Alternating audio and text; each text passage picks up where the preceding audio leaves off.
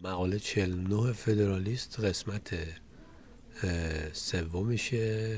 دیگه این مقاله کوتاه و دیگه این رسیدیم که مدیسون گفتش که تنها یعنی از سقوه سقوه ای که در دولت خواهند بود چون رادتون باشه راجع به تفکیک قوا صحبت می‌کنیم دیگه میگه بیشترین ترس رو بایستین از این مجلس نمایندگان مجلس نمایندگان داشت چون ببینید اینجا خودش میگه we have seen the tendency of Republican government is to an aggrandizement of the legislative at the expense of the other departments aggrandizement of legislative یعنی قوه مقننه است که می‌خواد خودش رو اگرندایز بکنه گنده بکنه خب از حد خودش پا بیرون بذاره. The appeals to the people therefore would usually be made by the executive and judiciary departments. پس اگه کسی قراره بیاد به مردم بگه که آقا به داد ما برسید قوه مجریه است و قوه قضاییه. البته آقای همیلتون چیز آقای مدیسون داره راجع به اون زمان صحبت می‌کنه که قوه مجریه اصلا برای مدت زیادی هیچ بود. هیچ قدرت زیادی نداشت. الان تو آمریکا که به جای رسیده که مثلا سی چل سال پیش یه یک دونه های کتابی نوشته بود که Imperial Presidency. الان شرایط طوری شده که به خاطر دلایل مختلف رئیس جمهور خیلی قدرت اومده دستش و این توازن قوا رو به هم زده. پس آقای مدیسون داره راجع به همون سال 1787 و اینا صحبت می‌کنه و تجارب خودشو از سال 1780 به بعد. چون میدیدش که مجالس نمایندگان ایالات مختلف چجوری همش چوبلای چرخ این دولت کنگره آمریکا می‌کردن. حتی زمان جنگ. همینجا جلوتر میریم. پاراگراف بعدی میگه but the legislative party would, on, would not only be able to plead their cause most successfully with the people they would probably be constituted themselves the judges. The same influence which had gained them an election into the legislature would gain them a seat at the convention. If this should not be the case with all, it would probably be the case with many, and pretty certainly with those leading characters on whom everything depends in such bodies.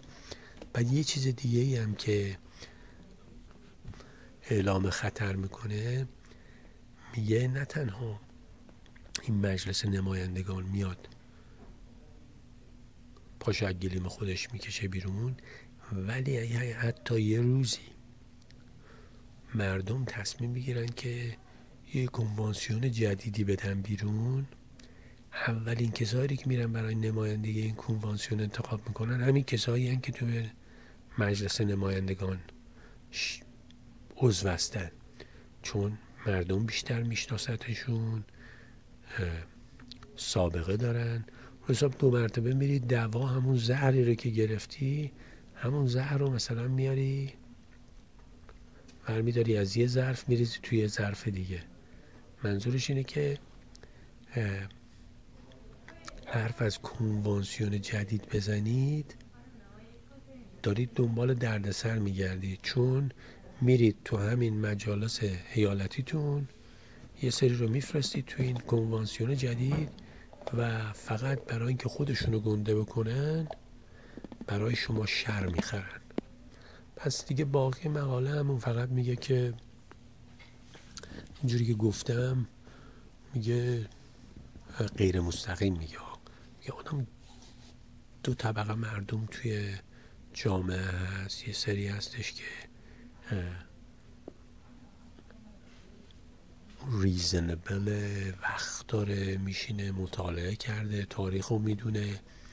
همش نمی‌دونم توی بیرون تو زمینش تو مزرعهش بیل نمی‌زنه. و یه سری هم هستن چون فرصت ندارن بشینن مطالعه تاریخی بکنن و اینا اونا رو راحت می‌تونن این کسایی که می‌خوان مردم رو گول بزنن اونا رو راحت می‌تونن بازیچه دستشون بگیرن. پس حرف از کنوانسیون جدید نذارید بزنن بهتون گولتون رو بزنن. خب حالا این عکس یعنی این نقاشی از این اینجا به اصطلاح آقای پتریک هنریه. ایشون توی ایالت ویرجینیا توی مجلسشون بوده و سخنران خیلی خوبی هم بوده مشهور بوده به سخنرانی و حسابی مردم احساساتی بکنه و لیلی به لالاشون بذاره و خلاصه مثلا جیفرسون و مدیسون و اینا خیلی از این بدشون میومد. چون همش با احساسات مردم بازی می‌کرد. حالا این آقای دانالد جی ترامپ خوش صحبتی ایشون نیست ولی الان اومدش و با چاخان و تزویر و خالی بندی و هزاران چیز دیگه الان شده رئیس جمهور. و گاهگداری هم این لجن این دوروریاش هنوز مشخص نیست کیا. خب کیا رو می‌خواد بگیره و کابینش بذاره و اینا. ولی من امروز صبح خیلی به هم برخورد که اینی که الان چیف آف استفش شده خب به اصطلاح حرف کوچولویی زده بود که ما فعلا تصمیم نداریم که رجیستری برای مسلمان ها داشته باشیم. یعنی مسلمان ها مثلا برن اسمشون رو بدن توی لیستی و گفته بود که ولی فعلا باید راجع به چیزهای مختلف یعنی فعلا هم احتمال داره که یه روزی این کار بکنیم. متاسفانه این آقای دونالد جی ترامپ و من از روزی که انتخاب شده خیلی دوست دارم برای موفقیت آمریکا ایشون هم موفق بشه. ولی اگر از این لاوبالی زیاد بکنه و این کسافت کاری زیاد بکنه و و یه کاری بکنه که مسلمان های آمریکا از دلش از دستش ناراحت بشن این برای تمام دنیا خیلی بد خواهد بود. چون اگه آمریکا نتونه مسلمانای ساکن آمریکا رو طرفدار خودش نگه داره و نشون نتونه بده که واقعا این کشورم کشور اونهاست. من فکر می‌کنم این فاجعه بزرگی خواهد بود. حالا خوشبختانه این حرف رو پیچوندم وسط این مقاله هایی که راجب تفکیک قواست و این برنامه که بگم من امید زیادی دارم که اگر حتی اگه پاشو از گیلم خودش اومد بیرون بذاره با ایشون قانونی برخورد بشه. فعلا با اجازه